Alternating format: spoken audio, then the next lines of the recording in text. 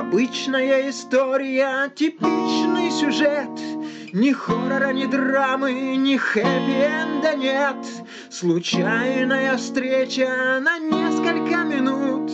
Искр пролетевших невидимый салют. Теплом твоего взгляда я был поражен.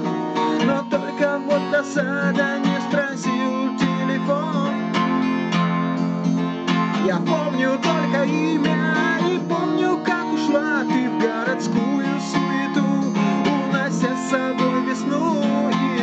Тебя ВКонтакте, но нету результатов И снова ты приходишь ото сна ко сну Я. Помню только имя и помню, как ушла ты в городскую суету. Унося с собой весну Искал тебя ВКонтакте, но нету результатов И снова ты приходишь ото сна ко сну